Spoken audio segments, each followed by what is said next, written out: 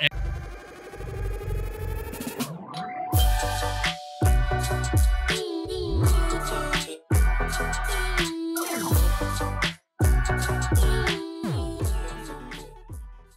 it's back. Welcome home. This is the Residency Podcast. I am Jeff Tomasic with Drew Belcher and Low Raven, bringing you the biggest guests and stories in entertainment, business, pop culture, and sports from our studio on the Las Vegas Strip inside the Mandalay Bay. Make sure to subscribe on Apple, Spotify, and YouTube. Today's episode is going to be crazy. We have MTV Challenge superstar, TV host, social media icon, podcaster, a little delayed getting here, but the man who literally branded a fruit, impressive. Johnny Bananas, welcome to the show. What's good? You forgot uh, North America's number one slow dancer, That's true. expert parallel parker. I also I had an 850 credit score up until about a month ago. Then I ran into some some issues while I was So away, fine. so that's dropped a little bit. That's but that fine. was another one of my accolades. But yeah, man, Are hell of an good- intro. Are you that good at parallel parking? It's amazing. When you park, do you park forward or do you reverse in? Okay, and I got. Here's what's wrong with social media, and I know this is going off on a little bit of a tangent. Go ahead. I was at the gym the other day, and I'm on the treadmill looking out the, the window, and I see this guy in this massive truck, and this guy literally takes 10 minutes to back into a parking spot. so I tweeted out, if you back into a parking space, you're an asshole. No. Did And the really? amount of flack I got, this just goes to show how sensitive people are these days. Because people were like getting so offended. My husband's a firefighter. He has to pull in. Someone else is like, you know, I've got a, you know, my, my, my dad doing the cane. He, I'm like, these aren't who I'm talking about. I'm talking about the jerk off at the gym that has to take a step ladder to get into his truck. This is guy, you know, he has to make a Right, whole right, song and dance about doing it. But no, the parallel parking thing, actually, the reason I say that is because I follow this Twitter account called like Tech Burrito. Okay. And they always tweet out really cool, like techie shit. And they showed like this geom like this this this mathematical equation of how to pull up next to the car next to you, how to turn your wheel, when to turn your wheel, and you will parallel park perfectly every time. So yeah, so I've added that to my repertoire. So repertoire. you're just dialed in for that. dialed the fuck in, dude. so if you see Yeah. someone backing into a parking spot, you're talking shit to him in your head. Absolutely. Hey, Not I on Twitter. Not on Twitter anymore, because you Not get because now anything on Twitter is offensive, dude. Everything. I'm not gonna lie, back into parking spots a lot. Do you really? Yeah. See, so does my brother, and I call him out all the time. I was like, dude, he, dude, he even backs into his fucking driveway at his house. Yeah. See, I don't do that. that's ridiculous. Ah. for for me because here's why because a lot of people aren't doing it for like a convenience factor they're doing it as like some like weird subtle flex Yeah, I'm better than you. I prefer. it's like oh yeah let me hold on let me show you my fucking charger that still has the dealer plates on it it's like oh cool man why do I think I'm saving Awesome. time when I'm doing it? But either way, one way you have to back out, and one way you have to pull in. i will say it's more convenient to pull out of the, the spot when you're when you're When you you're know leaving. nose is facing out That's but what I it's mean. just dude it's just such a i don't know man I think you need Not to do, my style. You need to do more effort when you get there, so that when you're leaving, you feel better or something. it's almost like do you want to save time on the front end or the back end Right. Correct. It's like cleaning up bef- like before you go to sleep rather than when you wake up. Yeah. Like knowing that you have to do all the work either way, but if you wake up, you'll be more pissed that it's dirty. it's like wiping your ass before you take a shit Yes. Yeah, that's okay. There you go. Ah, there it so, is. So pointless. So pointless. we were talking and Dave were talking about this the other day. We're like, why do people? Why do guys wash their hands after they piss? You should actually wash your hands before I've said the same thing forever. because your hands are the out touching everything, Touching everything. dirty. I mean, unless you're, you know, Who's dirty? You? The world or you? exactly. The world. It's inside your pants. Unless you're wearing, unless you're wearing dirty underwear. I mean, your Cleanest hands part are my dirtier. cleanest part of my entire body is my dick, Yeah. dude. You know what I mean? Yeah. That's- there it is. That's also a bold statement. there it statement. is. Bold I wish I could say the same. Bold statement. bold statement. This is what happens when you're in a relationship. You know what I mean? Yeah, yeah. You have to say that. Yeah. Uh, question: Does anyone use your last name like in your normal life, does ev- or does everyone just call you bananas from now on? Um, let's see. People, when I call like the American Airlines Advantage Desk, they always try. They butcher the shit out of it. Um, I mean, obviously, my friends and close close family members, but you'd be shocked at how many people to this day, when they find out that bananas isn't my real name, they're like they're like just flabbergasted. blown away. They're like, wait a minute, bananas isn't your real name? It's like, no. That- I mean, Will but it's you- a lot easier. It's a lot easier than try. Most of the time, though, because my I do have a, my last name's Devenanzio. A lot of syllables, a lot of letters. You can pronounce one end of that differently and totally butcher it. Exactly. So I just usually tell people it's bananas. Bananas. Just makes it just makes it easier. Would you ever legally change it? But I think, listen, I think that's the only way I'm going to get my TikTok back because Johnny Bananas has been stolen by a seven year old. Yeah. Are you in a TikTok battle right now? we are we are in a TikTok negotiation. Oh my god. All right, this kid's got 70 followers, hasn't posted in four months, And wants a hundred grand. we haven't gotten to that part yet. He hasn't even. We're, we're trying to still just get him to respond to, to our to our uh, our request. We've reached out to TikTok and they're like, yeah, uh, we can't kick people due to inactivity. I'm like, but hold on. Instagram gave me Johnny Bananas. Twitter gave me Johnny Bananas. Facebook gave me Johnny Bananas. And I think TikTok just wants to be. They just want to be different. So yeah, no, China, it's Chinese owned. Don't even talk to us. Yeah, they're like, sorry, get fucked. I mean, part of it, part of it is I actually had TikTok before TikTok was a thing. My manager Dave actually about what was that five years ago hits me up. He goes, "Yo, there's this company called TikTok. They want you to. They're going to pay you like ten grand to dance for thirty seconds. You got to sign up for an account." I was like, "All right." So I like signed up. Johnny Bananas signed up for an account. Did this stupid thirty second dance. Posted it. Never went back to my account. And I guess somewhere in the interim, once TikTok blew up, maybe they kicked me due to inactivity because Oh, uh, 'cause it I had was- that name at one time, and now some little kid stole it from me. It was like Musical.ly before like Yep, yep, music yep. Yes. before TikTok. It's all it was was just So like dumb dancing. God, don't you think there should be a system where if you have a certain level Yes. of like followers, if a new so if a new like platform gets launched, you should have like first right of refusal. Listen, I sued HBO years ago. Okay, I sued Entourage and HBO for using the name Johnny Bananas, even though I didn't have it trademarked. In the entertainment industry, there's this thing called the right to publicity. And that means if you are in the entertainment industry and you are best known for a, certain name or a certain likeness or a certain image, in the eyes of like the entertainment industry and the law, it's essentially a trademark. So Did you win? So I didn't. but hold on, it wasn't because of the merits of the case. It was because the statute of limitations had ran out by a month. So the statute of limitations on defamation, which is what we sued for, is 12 months. We sued. We filed a suit 13 months after after we we, we made the claim.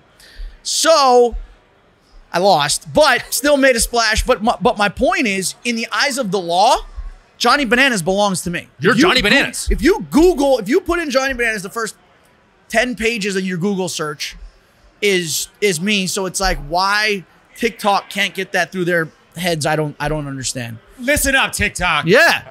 This is what's gonna break. This is what's gonna break it for us. Damn it. Everything. Um, all right, let's go to the challenge. Okay. Um, really quick, just off the top, are you the greatest challenge athlete of all time? Uh, I mean, listen, if we're talking strictly numbers, uh, most seasons won, most dailies won. Um, I had the highest bank account up until very recently. Uh, but yeah, by every metric out there, the answer is yes. Now, the argument a lot of times is, well, there, you know, there have been situations, and they always bring up obviously CT when we're we're always in the same conversation as like one and two. I'd say we're like one one A, one one one A because it's like there are certain things that nobody on earth could do that that guy could do. But then at the same time, there's certain things that I'm capable of that that, that no one else is too. You know what I mean? Yeah. So it's like comparing the two. I've always said it's almost unfair. It's like in boxing, that's why there's weight classes. You can't necessarily compare a heavyweight to a middleweight. You can't compare like what a middle linebacker and a defensive back have done. You know what I mean? Okay, I mean, there's that's- just two a completely. I like different skill sets. Me, you know, I have a very unique way of approaching the game. I have a very unique strategy. I have a very unique history and legacy. And I think that there's a lot of intangibles that I bring to the show that can't be quantified numerically. Right, right. Um, because I always bring there's like that, as they say, like in French, like that je ne sais quoi, that thing that you can't necessarily put your finger on and you can't describe. Um, and it's just something that I feel like I was I was born with it, and it's something that like I've been able to bring to the television screen. I think over the years I've been able to evolve and turn from just a cast member into a producer. And every season that I've ever been on, whatever the storyline is that season, somehow, some way runs through me. It does. so, It does. Yeah. So I mean, it's like, and that's something. It's like the, the the challenge. A lot of people get so hung up on the challenge being this physical competition show, which it is. But the challenge is more of a mental and strategic game more than it is a physical game. 90% of the show is us sitting around the house just trying to not lose our damn minds and strategize and figure out how to navigate our way through the game. 10% is us competing. So it's what you fill the other 90% of the show with and what you bring to the table there, in my opinion, gets overlooked a lot. But I think that's almost as important, if not more important, than you know the physical part. It's so funny, by the way, as fans, you don't see, you can't even, you can't grasp the other side of like the lulls in between it because we don't see any of it. Yeah. So it seems like so no like fast. fast, bro. It's it's a, it's it's a it's like white collar prison. Just grueling. All right, it's like yeah, it's it's dude. They've they've got it down to a science now where they know exactly what to give you and exactly what to take away and exactly how to form form the perfect environment to make it an absolute like pressure cooker. So no matter who you are, no matter how many seasons you've done, no matter what you've been through in the past, it still every time it's gonna get gets under you. your skin Somehow. You think that like I've done 20, maybe 21 seasons at this point, and you'd think it gets easier the more you do it.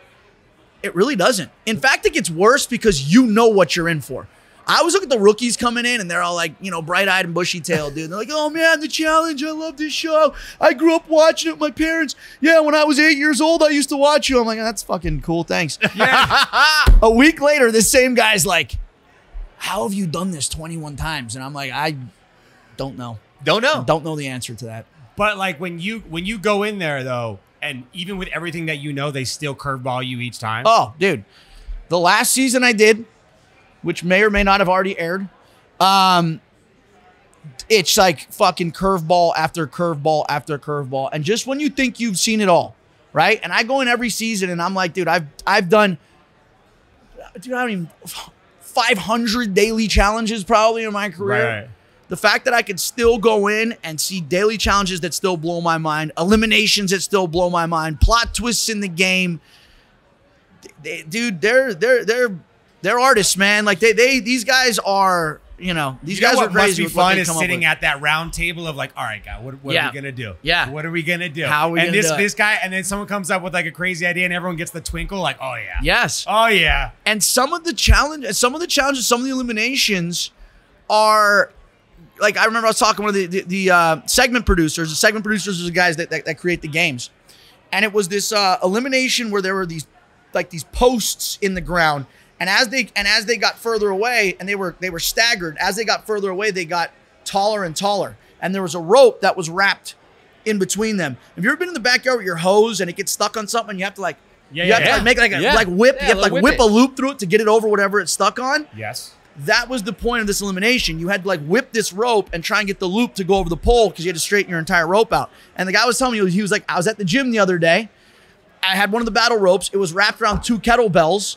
I, you know, whipped it twice. He got the kettlebell. He goes, "There's a there's a challenge. Wow. There or there's an elimination." That's actually kind of a fun job. Yeah. Like, how do I make people's lives miserable? Yeah, yeah, exactly. It is. That's a fun part of it. They're a solid job. They are really good at it, and it's funny because like that becomes our reality, right? Like we're trapped in this house for up to ten weeks now, and they've th- th- they're masters at isolating us from the outside world and making the game really become our reality because it's like we really have no connection to what else is going on. And people watch the show all the time and they're just like, why do you get so fired up? Why does so and so cry? It's like because to you guys, you might just watching the show, but when we're there, like that's the only what outlet. we've put into this, dude, and the amount of like sweat and tears and like just emotional fucking stress that we've put into it, like that becomes our reality. And it's funny because producers and people who work on production, even ones who've been there since the beginning, still this day, they're like, oh, why is it so bad? It's like you'll never understand until you're in our position, until you have to deal with this. You put the game together and you watch us, but at the end of the day, guess what? You get to go back to your hotel, you get to go back to your loved ones, you get to like plug yourself back into your normal life. Do you know what it would be like if you just think about it? If you took in 2022, if you took someone's phone away for 10 weeks and just see how they slowly disintegrated a little bit and put them in a weird environment, just that would probably make a lot of people go crazy. And then you start throwing in challenge stuff and pissing everyone off, sex, making everyone angry, like money. Yeah. Then it explodes. But if you just do the cell phone part, it probably people probably go insane just from that. Actually, it's the exact opposite, dude. You think so? me having my cell phone taken away now to me it's like it's as if like a it's as if like a, a, a you know a weight around my neck has been lifted Okay, that's fair. because we are so beholden and we're such slaves to these devices these days that like once they're taken away, a really funny thing happens. We talk about this every season. Because when you're usually you go any anywhere today, you go to a Starbucks, you go to a bar, you go to the fucking you're waiting in line, you're in the car, you're always on your phone. People don't communicate anymore because when they're in, an environment, their crutch is their phone. They go right to their phone, so they don't talk to people around them. Yeah, yeah. With us in the house, once they take our phones away, we are forced to sit around, and you get to know so much about people. You get and, and cre- you like creative juices in your brain start flowing. We get creative as fuck in the in the, in the house because you have to. Yeah, you have no choice. We make games up. We make up. I mean, dude, we, like we, we, you know, we, we I, I brought my guitar last season. We're sitting around the campfire, like you know, playing. Like it's like it's crazy how you start to like revert back to being like a child. get hobbies and like do You get hobbies. like- you create games because it's like you have nothing else to do, and this almost like stunts your your creativity and and and once this is gone and you're not on your phone all day it's like dude your communication skills like you learn about people like you talk god forbid like we don't do any you know everything now is done through like text so it- it's crazy like once the phones are taken away what a relief it is Yeah. I feel like for you welcoming it and going into it, I mean, for like a normal Yeah. person, like they don't understand the stress. Like, No. you know what I'm saying? Like, and not having that crutch, that's the stress. I mean, like, you not having that and having to talk to you or like be in the drama and not have an escape or whatever it may be. Fucking hard. I've just got so much on a daily basis, dude. There's so many, so many things pulling me so many different directions that me going on on the challenge, it's like I can literally cut myself off from all of that, dude. Just focus. Now I'm subjecting myself to a whole different type of mental anguish and torture.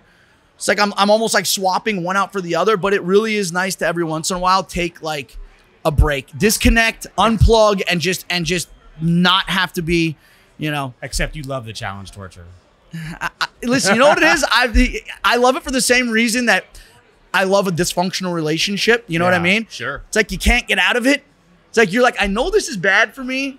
My friends and family, they all tell me that like, you know, she's not right for me, but there's something about it that like keeps me coming back. That's how the challenge is. But does I, I feel like once you did the challenge for that long and you like fed off of that, like Yeah. Doesn't a lot of other shit become really boring? Like that's an extreme thing for you to do for so long that I feel like over like a like, oh man, I'm so sick, I'm so like I've done it for so long, I'm tired, blah blah, blah. and then you, like a couple months goes by and you're like, man, everyone's kind of everyone kind of sucks. It doesn't- like real life is really boring. It doesn't necessarily make life boring. It makes life in certain circumstances easier to cope with. For example, and, and it's so funny that this like I don't know like like I thought about this when we were there. I went to uh, Ukraine uh, right at the beginning of the, uh, right, like the when the war broke out.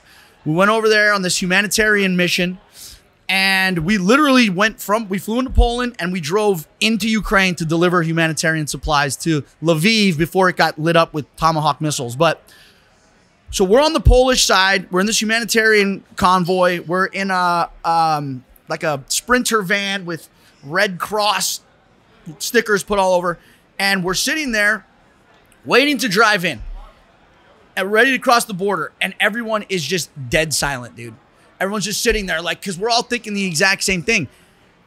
And I'm like, this is exactly, but everyone else is, is dealing with completely differently. Whereas I'm sitting there and I'm like, all right, this feels familiar to me because this is what it feels like every time before we're going into a challenge. We're on a bus. We don't know where we're going or what we're about to show up to. We don't know what the, Yeah, the- yeah. the, the- and there's this pit in your stomach, dude.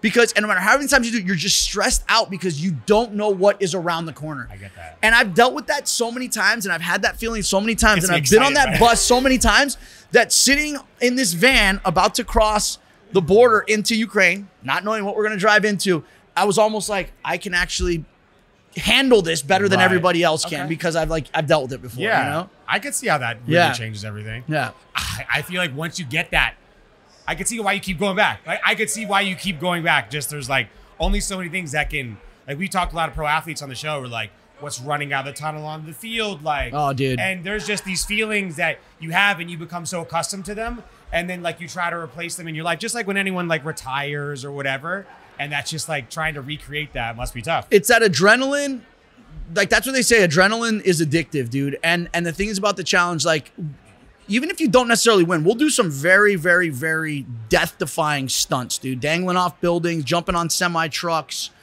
uh, you know, jumping, uh, you know, platforms 25 feet over the water. And when you finish that, when you actually complete it, there's this feeling of like accomplishment and just like joy. Mostly because you're like, wow, I might have just won today, but mostly be- I didn't just die.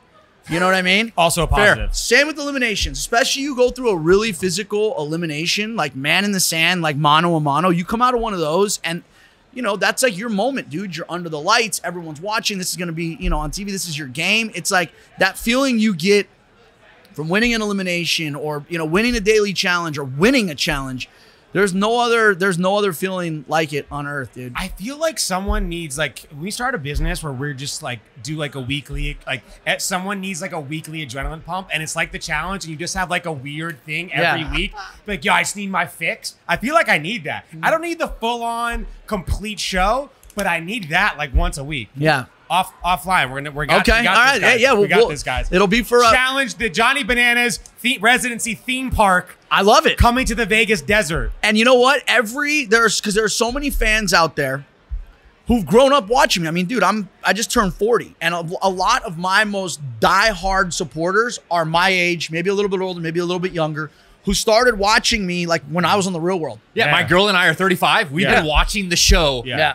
For fucking ever. Yeah. we're in the Forever. gap. we're So- in the age We're- gap. we're- we're Yeah, dedicated. there. I tell you, once a day, I get multiple messages, DMs even from from guys and girls alike, and they're just like, "Man, I'm living vicariously through you. Like, grew up watching you. Now I'm married. Now I have kids. Blah blah." But being able to like, watch, like, I wish I could like do some of the things that, that- uh, go on the challenges and, and and compete in the same way. There's people that have challenge themed birthday parties or or or you know That's bachelorette bachelor parties. yeah And I'm like, it really would be cool if we, after whatever location we film at, okay, you're able to rent the house that we lived in, yeah and you're able to go and like do like a couple of like the actual challenges at the actual locations that that that, that we did it. You know what I mean? that. I need that adrenaline. I Yeah. need, the, I need just the challenge adrenaline like fuel on a weekly basis. It's like as a as a as a uh, Call of Duty fan. I don't know if you guys are, Yeah, are yeah, gamers. of All right, you know, like there's certain maps that when you look back on them, you're just like like airports one of them. Sure. Uh, uh, what was the other one? Nuketown.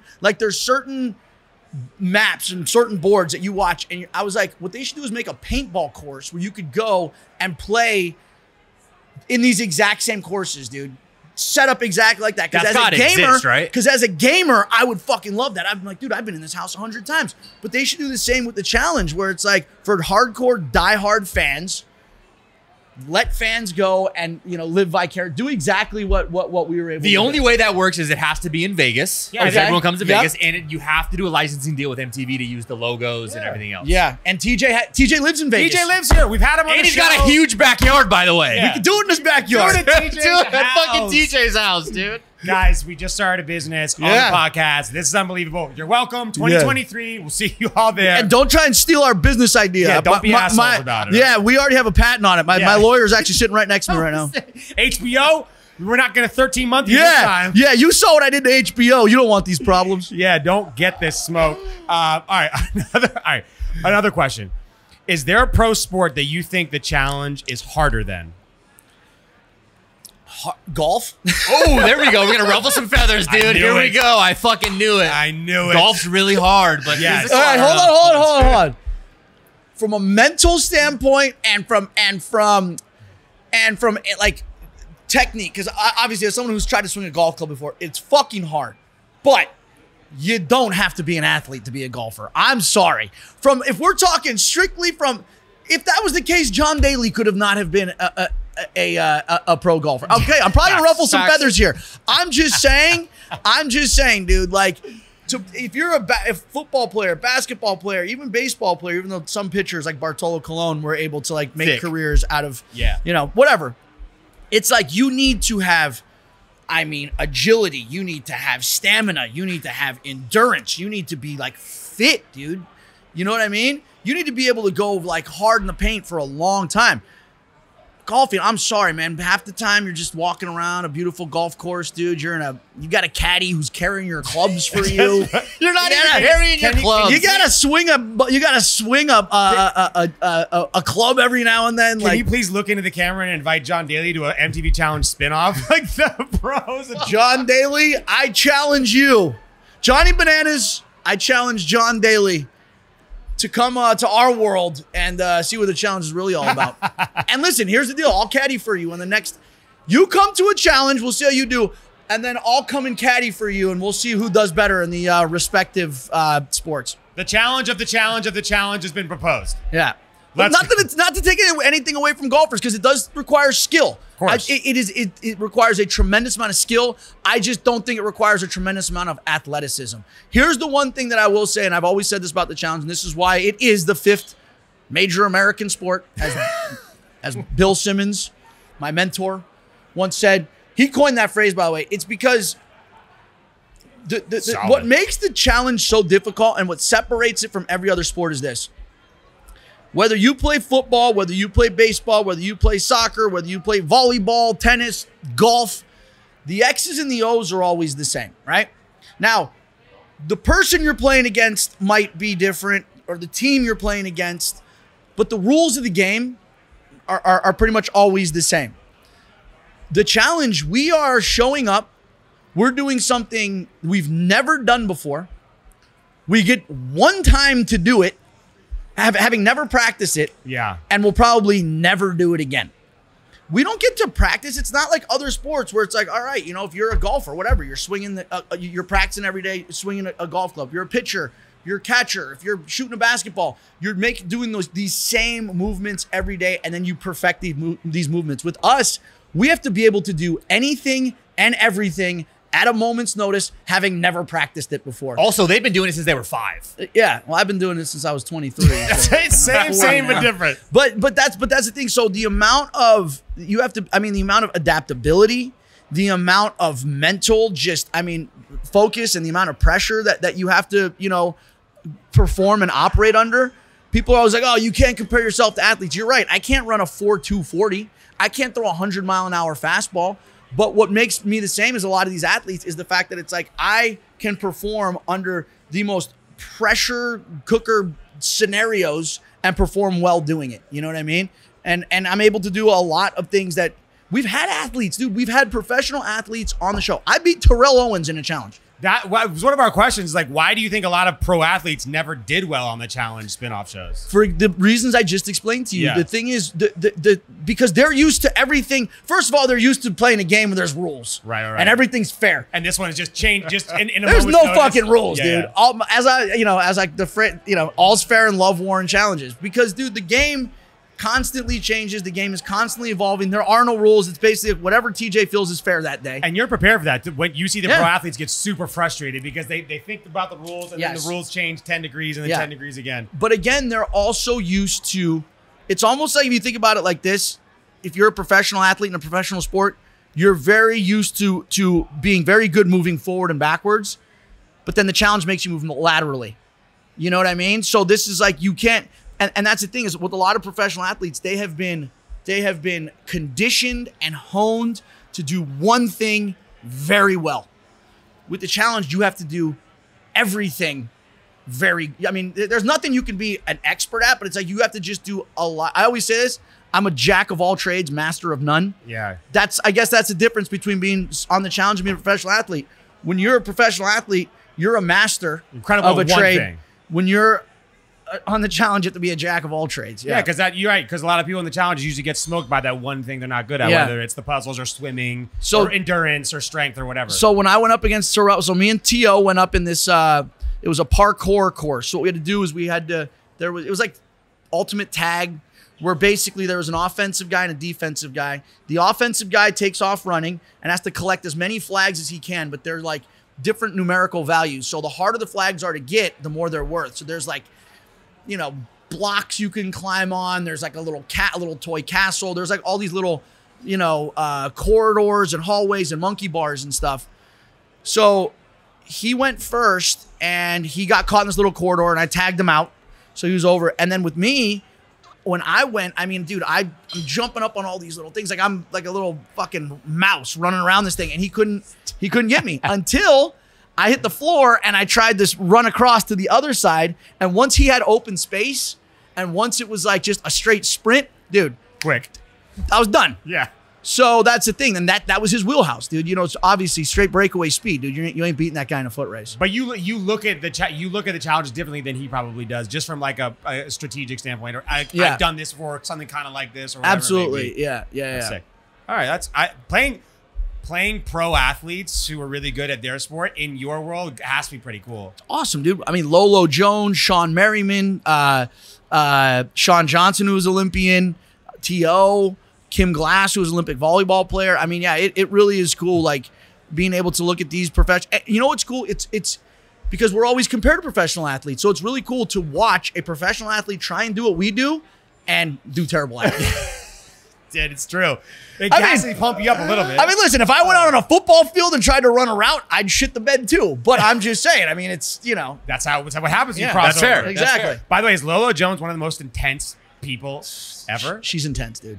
Just like She is very, very intense. But but I guess but that's what makes these that's what makes professional athletes. I mean, you have to be a little you have to be a, a, a little out there. Yeah. You got to be wired differently to be as good to do something like that where you're like I'm going to dedicate my life to just running and jumping over shit Right. and do that 10 hours a day every day for whatever 20 years like you got to be a little a, a little crazy to, little to, nuts, to- yeah. yeah to do that yeah that is true. Right. That sounds like not a career that I want. Would never do it.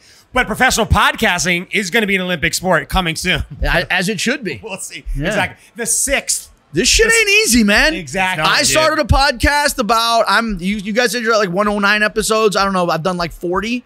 And dude, I'm not gonna lie, like just every week being like, all right, I gotta figure out who my next guest is. I gotta like do some research and figure out what we're gonna talk about. I gotta fill an hour's worth of space because you don't know how good they're gonna be, you know, hard. a- as far as guests are. And it's stressful, man. Well, well, Bill Simmons did say that podcasting was the sixth American sport. Oh, after, did he? After the challenge, Yet I mean, It well, just- you know what? He, I, I'm, I'm I'm not surprised he said that because I because then that makes him an athlete. That- So. yeah, exactly. See? that makes total sense. Thanks, Bill. Thanks, Bill. Appreciate Yeah. you. Um, do you get preferential treatment because you're like one of the main characters on the challenge in any way? I mean, yes, obviously, but it's not the way you may think. It's not like they're like, oh, we're gonna, we're gonna, uh, you know, make the game, we're, we're gonna cut corners, make the game easier for you. It, but it's like I've been, I've been around longer than most of the producers on the show. Right. Okay, like I've, I'm literally watching. Like I remember I used to my first few seasons, and I used to be, you know, the youngest guy, one of the youngest guys there. Now I'm like the oldest one. So it's like it's more from just like a respect. They, I'm just treated differently as far as like I'm not treated like a child. Okay. A lot of times, production producers will come to me and be like, "Hey, Saturday's our day off. What should we do?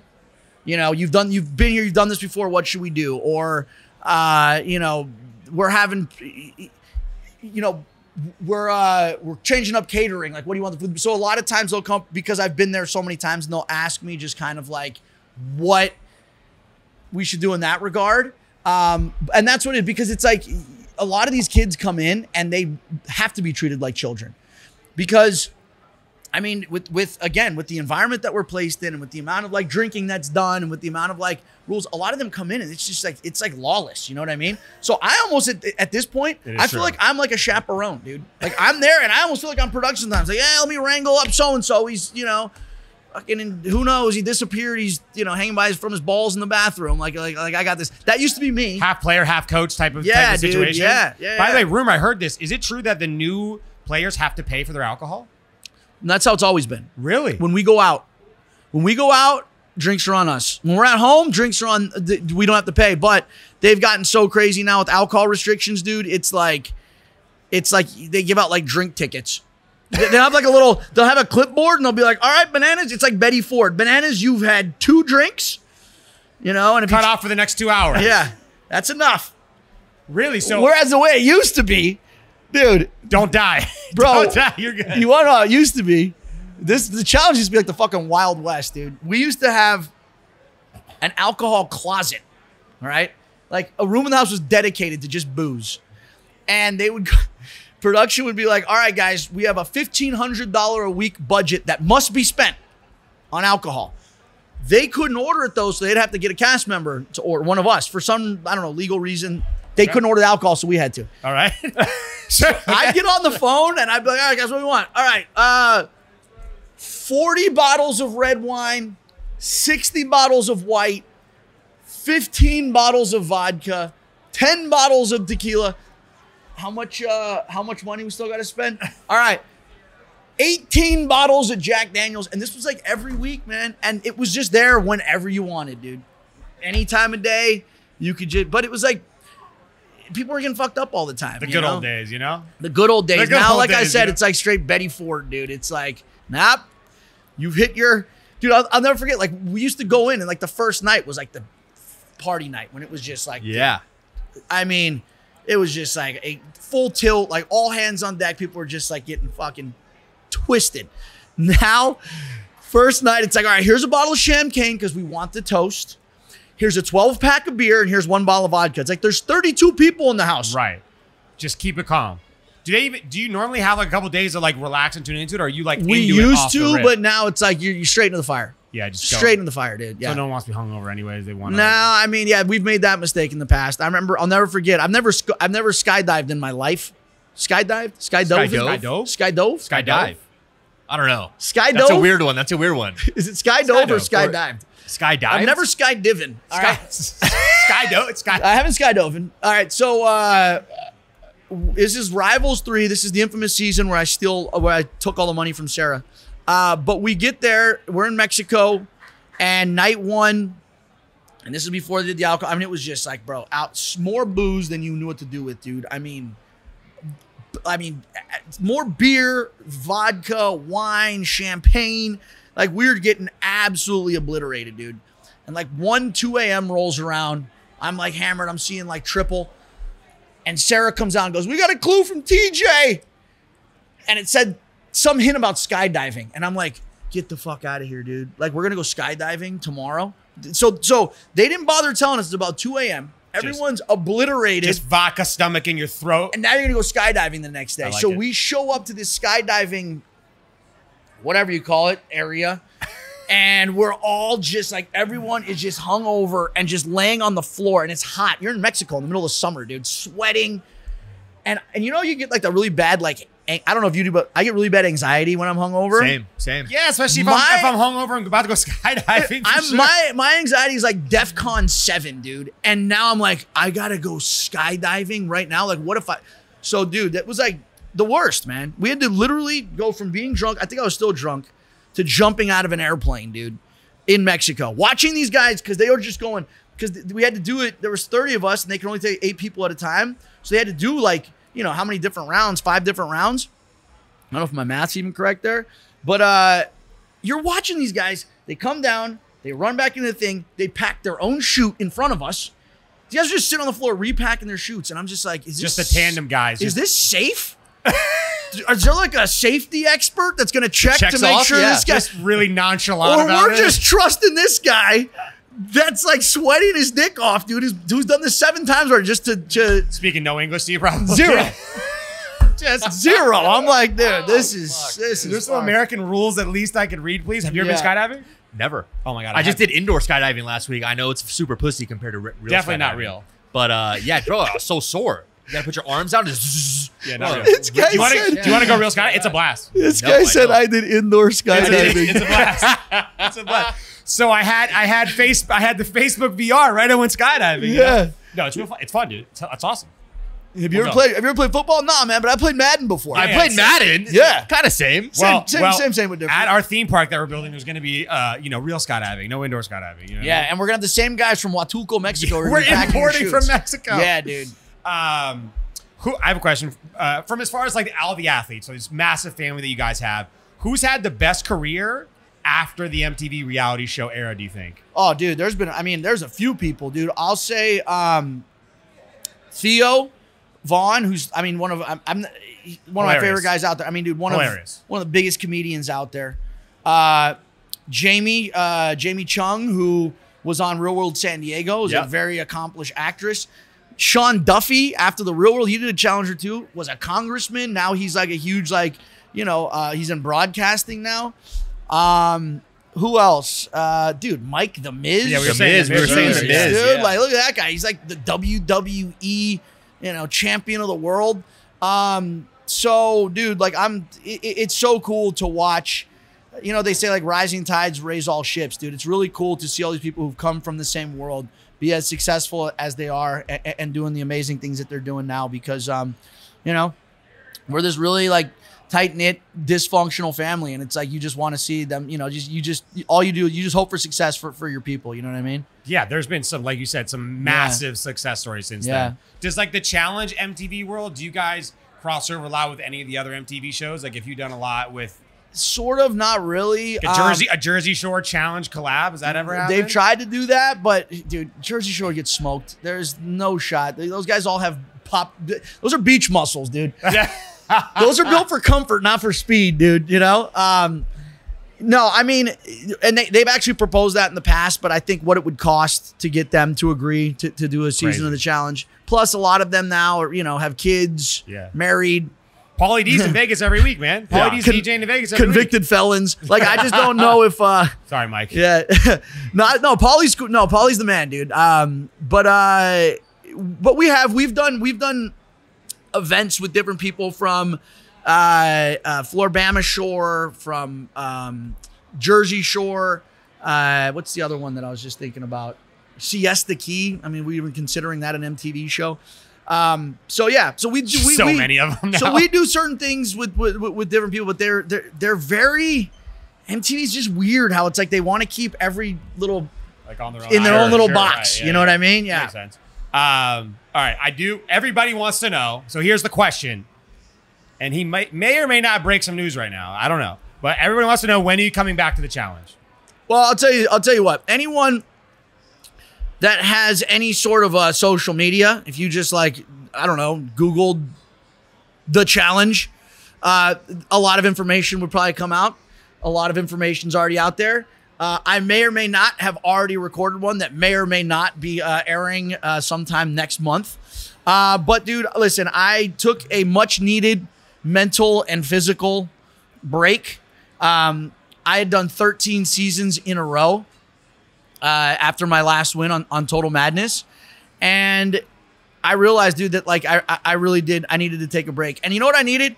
Not only did I need a break, I feel like the fans needed a break from me. I, like they- I needed to be missed. You know what I mean? I feel That's like I wasn't being missed. A- What is it? Absence makes the heart grow fonder. Yeah, or the mind wander. Like, I mean, it depends on what, what school you're from. But I think by me stepping away for a while, what it, what it made a lot of people realize, love me or hate me, is how important I, I am to the fucking show. The utmost importance. So, and a lot of the other years too. There's been so many new people, whereas for a long time there was like a lot of familiar faces all the time. And Yeah. now it's kind of like seventy percent new people every season, thirty percent like and, OGs. and- and what's so funny is I, because I get it every season, dude. There's so many. Listen, I, I got a lot. There's a lot of Johnny Bananas fans out there, but there's a lot of haters, which I like to say are actually my biggest fans. They're just in disguise, but. And they would be like, I don't want to see your face on TV anymore. I'm sick of you. We need new people. Then I take two years off. These same people are like, all right, now listen, I know I was talking shit a while ago. I know I said how much I hated seeing you, but whatever this is now, this is, uh, I mean, this is insufferable. Please come back.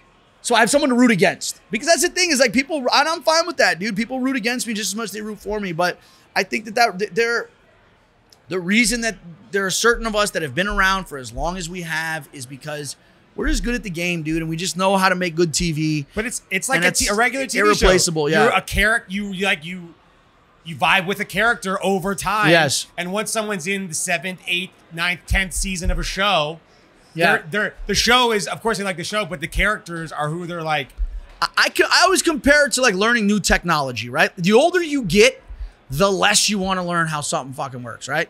Yeah. Like whether it's an whether it's a app on a phone, whether it's a new phone, new computer, whatever.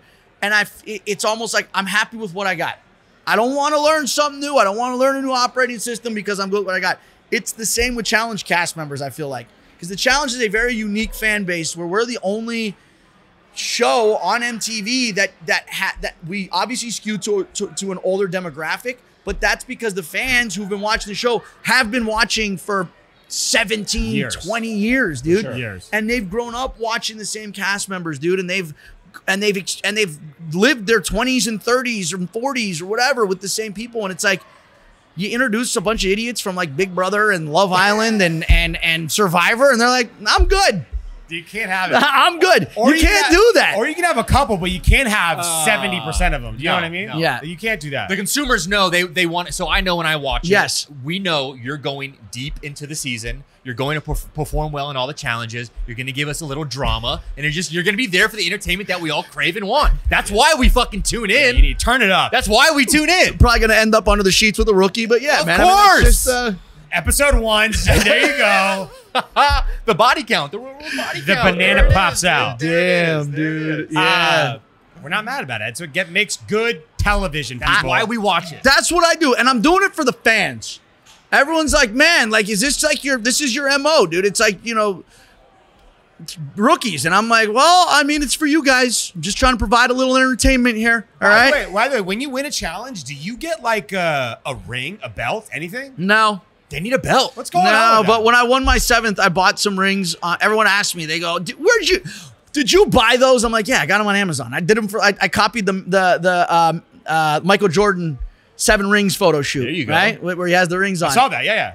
people were like almost like they as if they were like exposing something like they didn't give you bought those i'm like yeah no shit like the fuck you can't tell I feel like there should be like there something. should Yeah, a ring, a belt. What's going on? something on? I mean youtube gives you a, a, a, Yeah, a a freaking plaque. plaque, plaque. when you get 100000 followers i'm Yeah. like Come on. nothing There's award shows for everything on the planet now, right? You can't get. yeah yeah except for us I mean, I, I will. The one positive thing is the prize money has gone up. Sub- uh, substantially Drastically over the yeah years. well but so as the mental anguish we have to go through to get that prize Okay, money i'll tell you what i'll tell you what anguish. I wish they were giving away a million dollars back when I was in my, you know, my reign when I was winning back to back, you know, championships. But that's what you need now to tune in because I think money has changed so dramatically in general. Like So you do, much. You do a big reality show and like the winner's gonna get twenty five thousand dollars. Everyone's like, all right, come on, bro. Yeah, yeah, yeah. I saw someone on YouTube today giving away six cars, three houses, two Lamborghinis, and a million bucks to people Well, on the street. I was shocked. I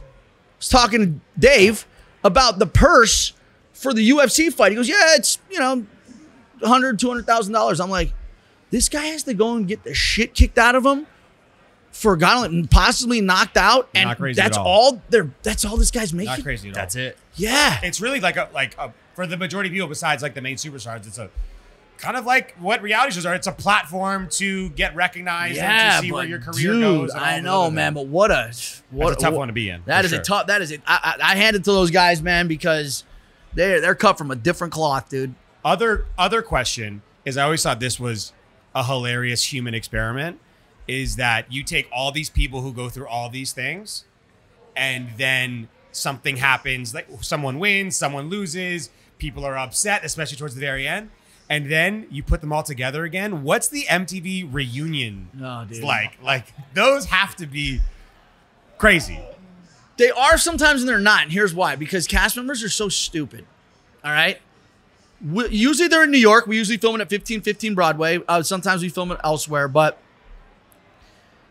and they put us all in the same hotel. And usually we fly in the night before. And these morons cannot wait to all get together, post stories together. Every single one of them has to involve.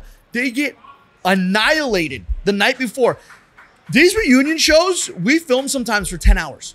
We are wow. sitting on stage for 10 hours answering questions because a lot of times they're two parts.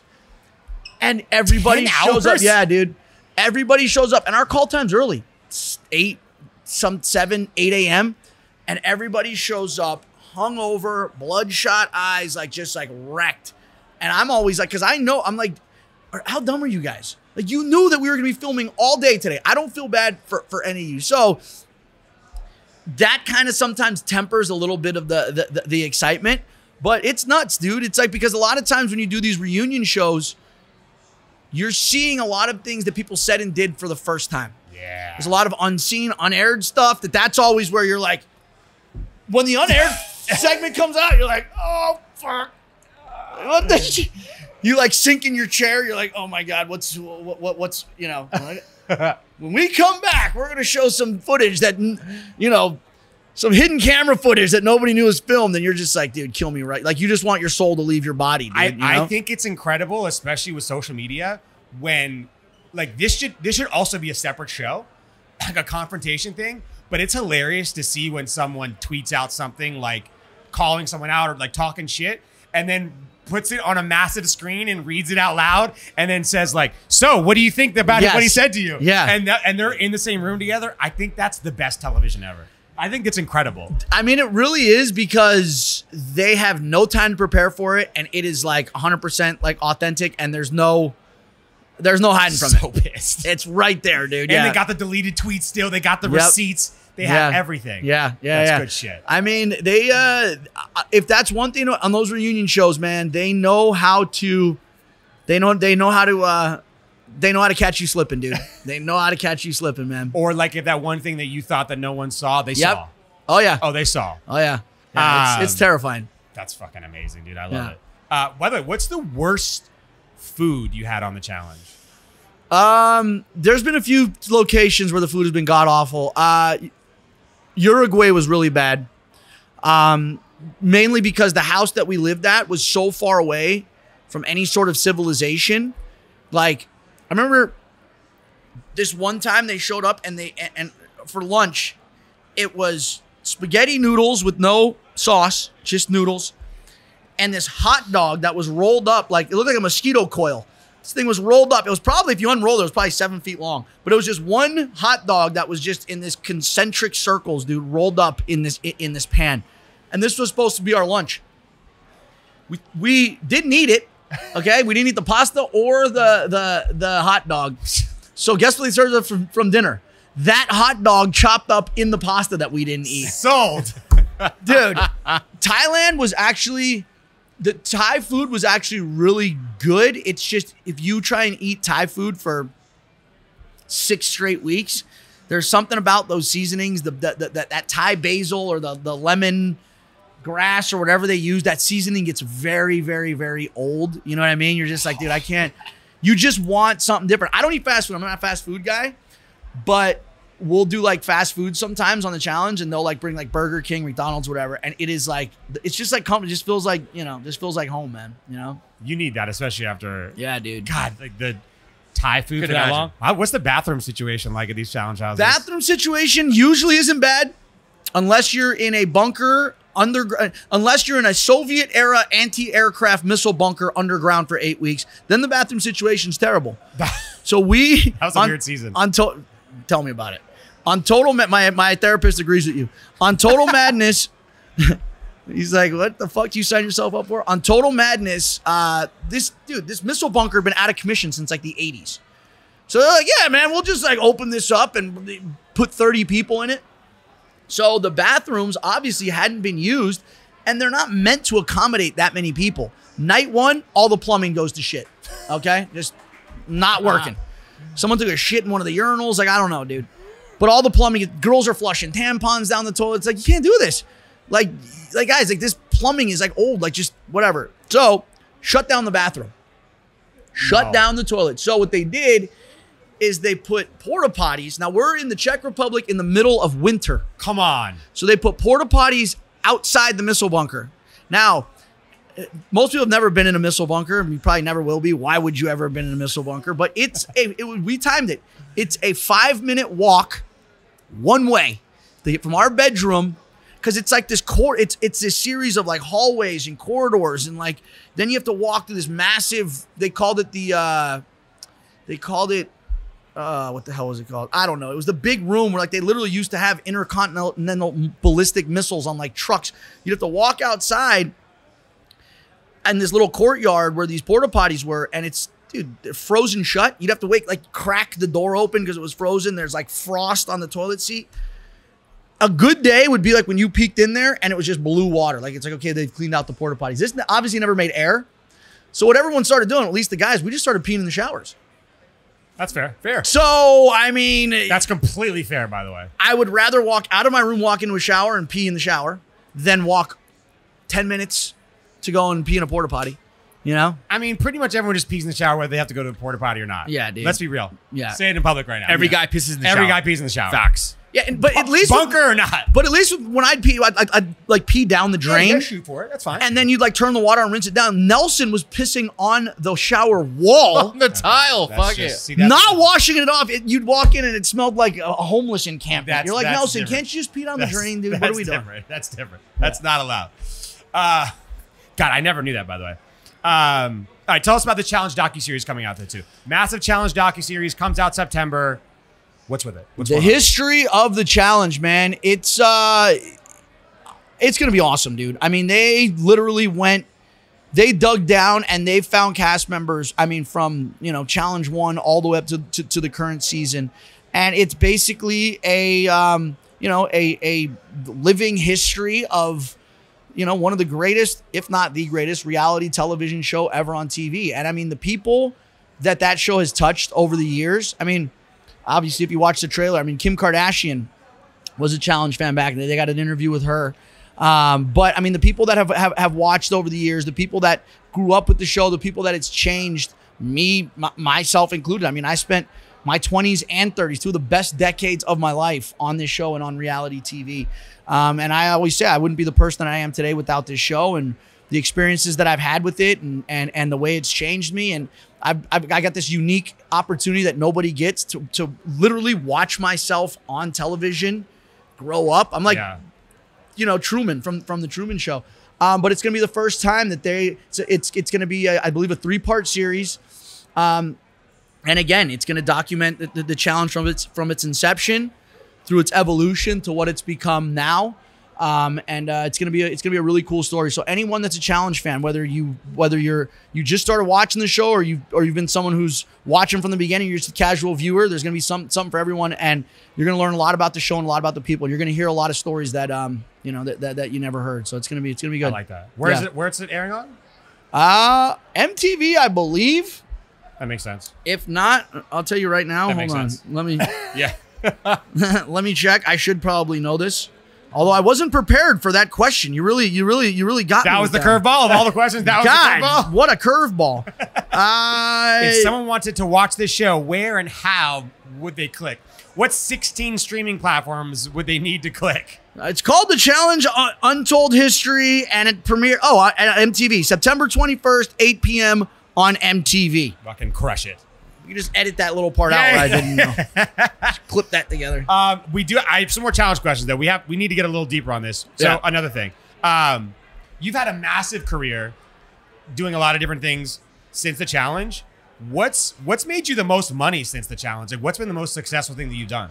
Not my OnlyFans because I don't have one of those. Although, although a lot of people have been telling me I should get one. They're like, dude, why are you putting posting picture of your feet on your? On, I didn't, which I didn't realize people were so weird about. Uh, for free, you could be making uh, millions of dollars off this. So, um, I mean, I guess I'd have to say just uh, endorsements that I've gotten and uh, just other shows that I have and, and and other opportunities that I've gotten television shows basically that have spawned off of my notoriety and appearances from Yeah. the challenge you know It's- it's just been um now you know I I uh, hosted a, a a travel show for a long time on NBC um I've done sh- shows on, on on Food Network I've done cameos in in some pretty big movies uh I'm currently doing a podcast on the Ringer Network um I just you know signed with uh, DraftKings so I'm you know on the on the DraftKings team now so um, so it's cool, man. I mean, the the, the, the doors and the opportunities that being on the show uh, ha- has opened up are, are pretty magical, dude. How did that ringer deal happen? Bill Simmons, Yeah. who's a huge dude. I mean, he's been a fan of of uh, the challenge since again, dude, years ago. I remember I'll never forget the first time me me and Bill even met. Obviously, I was a fan of his for years. uh, You know, watching on ESPN and stuff as an analyst. He's he slid into my Twitter DMs. Classic. He's like, Bananas, huge fan. When can I take you out to dinner? I'm like, all right, yeah, whenever. And this is when he was still at ESPN. And this is before the ringer even started. And um, this he had started Grantland, which was the kind of before. Yeah, yeah. And he was like, you know what? I think you're every besides your wins, beside what you bring to the show, I think your biggest uh, attribute you bring to the show are your toasts that you give out every season. So he actually had me give the toast at the Grantland three year anniversary party at his house. And then he started the ringer, and then he hit me up. He's like, "Dude, I, I want you to do a, a a podcast about the challenge." And I was like, "You know, can't say no to you know I can't say no to him." So From as podcasters, the Ringer is just like one of the meccas, right? Yeah. podcasting, just Yeah, dude. monster. yeah, yeah. I mean, dude, he's yeah, he's he created he created a monster, dude. That guy guy knows what he's doing. Yeah, that was a big one. That was he hired me, so the guy's definitely definitely got his head screwed on straight. you know? absolutely making the right moves Yeah. every way he possibly can. Hell yeah. They call us the Ringer Junior. You know, that's pretty much what they call Junior us. ringers. Junior Ringers. Yeah, exactly. Um, by the way, how did the NBC show happen? That was a really cool show that you were doing. Yeah. So um, First look. Yep. It uh that was that actually transpired again. Uh, it was at I was at a, one of our reunion shows.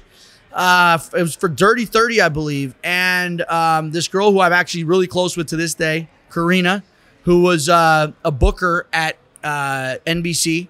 She do booking for, for bookings for a bunch of different shows. Was a huge challenge fan. Um, the hosting opportunity just had just opened up, and she's like, "Would you ever? Would you want to host a travel show?" And I'm like, duh. You know, Sure. does the Pope shit in his hat? Um, Yes. so she's like, yeah, I'll, I'll you know, I'll get you in, uh, you know, and, and that's how. uh, So she got me an interview with the with the powers that be, but it all spawned from her being a fan of the challenge, uh, her putting in a good word for me, and uh, you know that was so that's how that all transpired. I feel like being paid to fly around to cool places and do cool stuff while everyone else does like the like the setting up work. yeah, And you just it's got to it's It's a lot of work though, dude. So what what made it difficult? What what the reason that the hosting is so, is so difficult is because, especially from the challenge. When you're on the challenge, there's, you know, 30 other people to to carry the to carry the load. true. When when you're hosting, it's like the entire show. Like you have to carry the, the whole show. You know what I mean? It all involves witty. and that was the problem was finding that balance dude because when i first started hosting everything i thought everything had to be some sort of like tongue-in-cheek sarcastic like Punchline. quip Right. Sure. and i was very bad at letting other people talk right i was I'm, i've always been a terrible listener i've always been a good talker so it was like being able to be interested and not interesting was one of the hardest things for me to do and not step on people and not interject when they're in the middle of a thought not if i find if they say something funny not like just jumping right in and saying it and learning that like not everything has to be a joke and not everything ha- because then what ha- what tends to happen and i i've noticed and i've realized this from watching old episodes when i first started hosting i don't even take myself seriously Right. I'm like, dude, like say something serious for once, you know? And and and one of the best pieces of advice I ever get I ever got was a well-timed joke every now and then will help the information go down. So if everything's a joke, people aren't going to take you seriously. But then if you know, but then if everything's really serious and everything's dry, they're not going to want to watch it. So it's like you have to know when to like drop a well-timed joke in there, find that place, and it'll help the information go down. But it took it was it was a difficult transition to make, dude. Going from reality TV to being a host. Um, but I love it because, dude, now it's it's really like I've it's helped me tap into this whole other aspect of my television persona that I didn't even know existed before. You know? Even like podcasting, you know, you sometimes you feel awkward when you're not saying something Yeah. you think you're supposed to, and you're Yeah. listening to someone, and the camera's pointing at you, and and you're just engaging and listening, and you like, and you feel a little weird. It takes a while to learn that Yeah. skill. So I actually agree with that, especially when because we interview people every single week, week in and week out, and trying to find that balance of right, funny but informative, Yes. inform- information, give me a story, but we need to be involved. There's Mhm. actually normally a third co-host here as well, so like there's a lot of personalities in a room, so different than maybe being just one person Yeah. on that show. But a cool once you figure you figure it out. Though I watched some of the episodes, and it's a cool premise. Yeah, yeah, yeah. I mean, it's called you know the the, the na- it's first look because you know it's giving a lot of people the first look into something, a a, a, a location, a, a an industry, a job, a, what, that they've never seen before. So it's like them living vicariously and seeing it through my eyes. You Yeah. know, uh, but I mean, dude, it's I, I always saw it as kind of like a stepping stone towards like the next big uh, you know move I'm gonna make. And uh, you know, obviously, I love the time that I spent there, and and I'm gonna you know forever treasure you know the memories that I spent with them. But it was time to get it was time to leave the nest, and uh, you know because that's the other thing is is as amazing of experience as it was the amount of time that it required. I mean, dude, one episode sometimes took seven eight days to film, and I was doing 21 episodes a season. So it was like every free second that I wasn't doing the challenge, it was like, well, well, we need you, and it didn't Going give me any opportunity to pers- to pursue any of the other ventures that I wanted to do. So now it's like really opened up my time and the, the, the ability for me to, you know, do, you know, amazing things like come to Vegas and come on this podcast. There it is. Sorry, no more travel show people, but you get this. Yes, yeah. But you get this. I'd say it's it was I'd, I'd say listen man I'd say it's trade. a pretty fair trade dude. Fair Yeah, trade. absolutely This is a heater episode too, by the way. Sorry, Yeah. NBC. You know what I mean? Uh, all right, back to back questions, real quick, fast ones off the dome. What's a challenge moment that you wished MTV had aired that no one ever saw? Uh, probably the greatest prank of all time when we hit Jemmye with the yoga ball covered in ketchup because she has a uh, she has a mortal fear of ketchup, and we did we plotted this whole thing. It was amazing, dude. We were dressed as ninjas. We like set this. It was the it was the most elaborate prank ever in the history of the show, and. I lured her out under this balcony. CT was on top of this balcony with a yoga ball smeared in ketchup, drills her in the back of the head, covers her in ketchup, dude. It was like the greatest moment ever. And she freaked out so badly that they pulled it from the. the they, didn't show it? it. Yeah. Oh, if you have any footage, we'll make a nice clip right now. You know? Yeah, I We'll wish show- I did. We'll show the world. I We'll show wish the I did, dude. Yeah. Uh, by the way, fear of ketchup seems extreme. Mortuusequusphobia. I actually looked it up. It's a real people. It's actually fear of condiments. People have different fears of different condiments, but it was a, a legit like a mortal fear, dude. Mustard, mayo. Th- relish. So yes, I, I'm assuming that's people do have But hers fears of those, but hers was ketchup. Wow. Yeah. That's weird. That's crazy. Yeah, Okay. very weird, dude. Okay. Very All right. weird. What's a challenge moment that you wished hadn't aired? Oh God, dude, I, I I used to I used to say the banana backpack, Classic. but I don't anymore. You know why? Because that's one of those moments that it's such an iconic moment. It's classic. I just have to.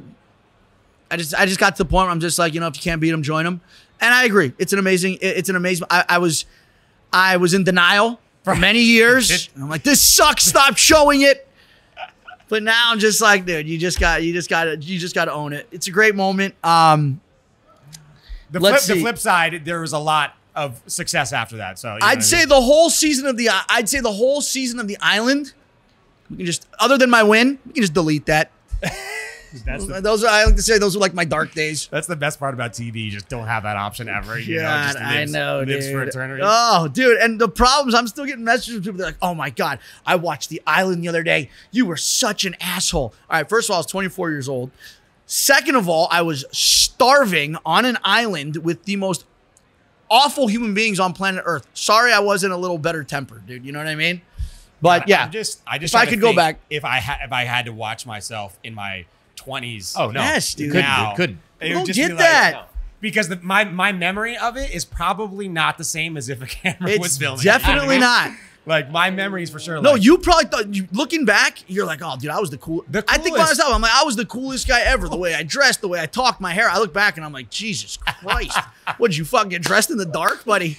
That's you like lose what- a bet? What the hell's what, what's that? Like- what are you doing with your hair? Oh. but when like Instagram isn't old enough, but when you go on fa- like you get like a Facebook memory, Yeah, dude. and you're like, oh my god, God, please It's, stop that. It's like you know when you open up your phone, sometimes take a picture and the front force facing camera hits you, and you're like, ah. That's how like old pictures are. You're like, what were you thinking? who is that guy? Uh, another one, real quick. Uh, are the challenge finals as hard as they look?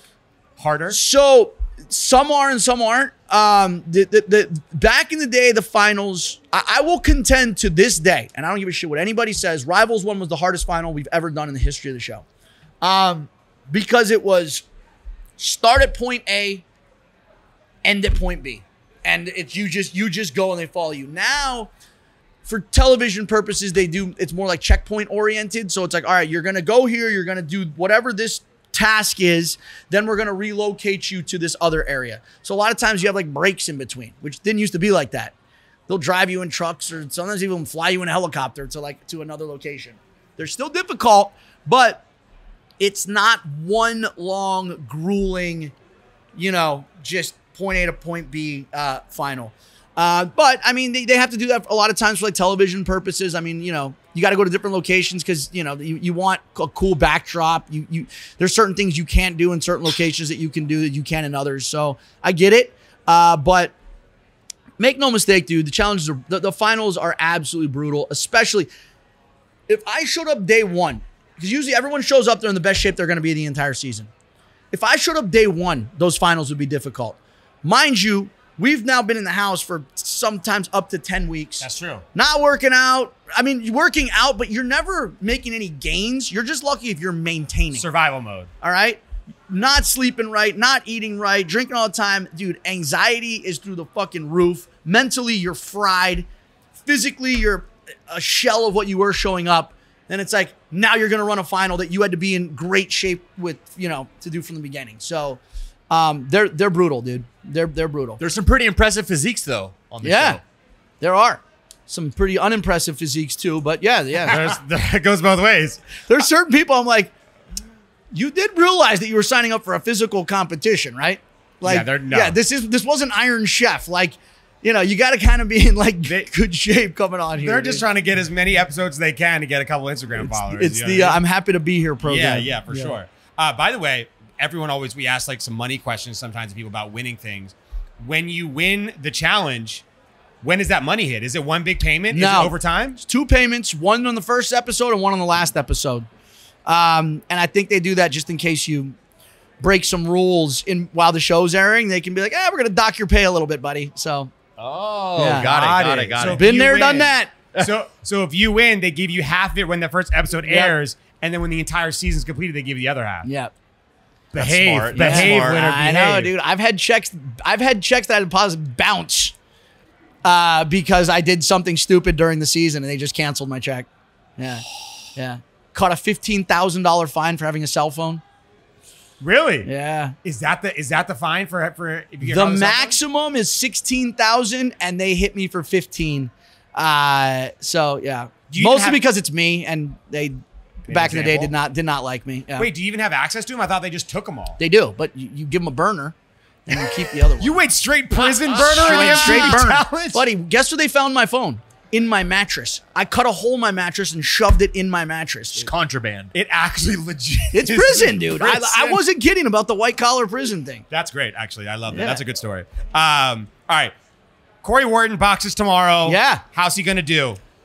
Well, I I'm a bit concerned after seeing this. The, the- what do they call it? The square up, where they where the what do they call that? The stare down. Stare, Stare down. Yeah.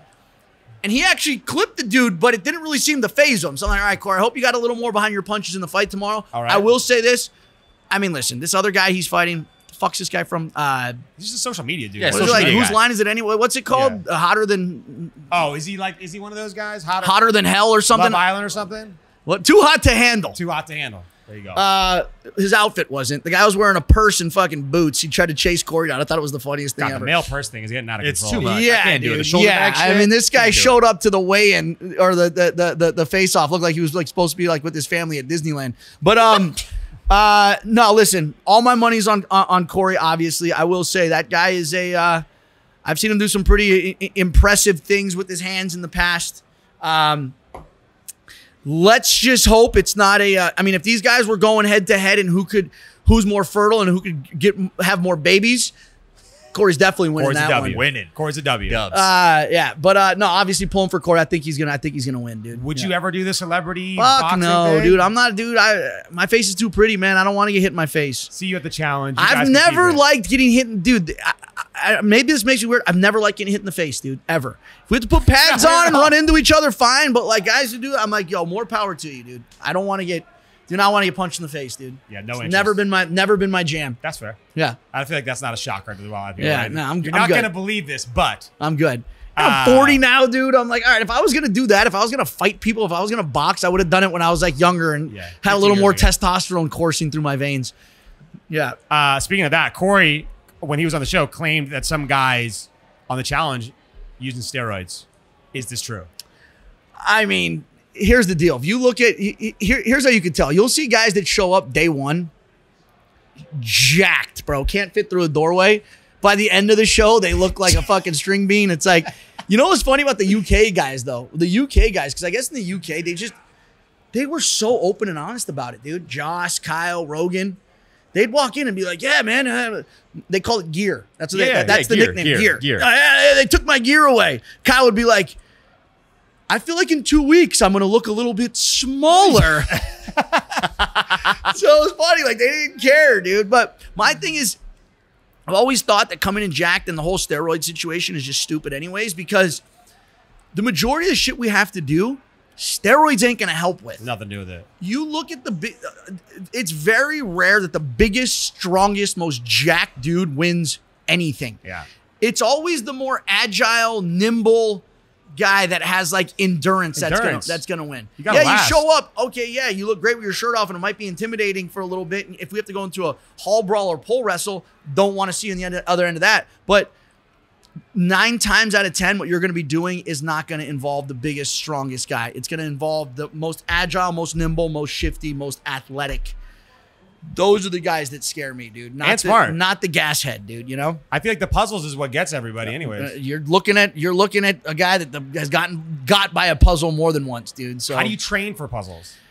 I don't know because I don't. Okay. I probably should go to There. Cracker Barrel. I guess I don't know. There you go. I mean, that's it, it's so funny because that is something that I. It's like in all the years, I, I I can't tell you how many times puzzles have been my undoing, and I'm still like, yeah, I'll just get one that I know. And it's like, nah, I should probably be working on puzzles. Probably should. I mean, it's probably one of those things. Is like, how do you practice for that? Like, what do you Can't. what do you do? You just do crossword puzzles, or I- like Huh? Yeah, Yeah, you just- LSAT yeah. prep, yeah, or like uh, there's apps you can do. just a mind game? I think what it is is uh it's not like you're never ne- never gonna necessarily see the same puzzle, but I think it's like they say your mind's a muscle, and it's like the more you train it in puzzles and to think that way, the better you're gonna get at doing it. And here I am giving advice on how to do puzzles, and I don't even practice doing puzzles. So maybe I should take my own advice. There you go. I'm gonna on the way. I'm gonna go download the. Uh, there's an app. I forget what it's called. TJ actually plays it all the time. Uh, that I'm probably gonna start doing just so I can you know get my mind ready for for the next one. So last question is too. We love TJ. He was one of our original first guests on the show. What's your relationship with TJ Lavin? Fucking hate that piece of shit. God, damn, that guy. Um, TJ is one of the greatest human beings I've ever met in my entire life, dude. Uh, he is one of the kindest. Just, I mean, the guy. I've watched him do. We've been in like we're in foreign countries, and like a lot of times we'll be in like I don't know Central America, Southeast Asia. So there's a lot of bugs everywhere. TJ will literally find a bug on the ground and like save it. He'll like go put it in the bushes if he sees it. Like, like he's just what we were in South Africa. This guy would literally pick up hitchhikers. All right and like give him a ride wherever he he showed me this video where literally he's in the car and he's and he's recording himself and he's got like four hitchhikers in the back and he's singing uh uh Bob Marley everything's gonna be all right to these guys. And they're all sitting there looking around like who the fuck should we should he be worried he just picked up hitchhikers or should we be worried that this psycho is fucking picked us up and is now singing Bob Marley? Like I mean, so everywhere that guy goes, dude, he just he just he, TJ leaves places better than he found them. You know what I mean? Um, you know, Leroy's favorite story is the time TJ picked up a homeless guy and took him home, and I'm like, uh, Leroy, homeless guy doesn't have a home, so I don't know how that happened. Uh, but yeah, dude, I mean, just he just does so much nice shit for so many people. Um, and you know, this challenge would not be the same without him. TJ is the challenge. One of the most you humble, know, nice guys that we have met. Awesome. so humble, nice. so amazing. We'll give you the shirt off of his back any day of the week. And uh, yeah, I'm uh, the challenge is lucky to have him. I'm lucky to have him.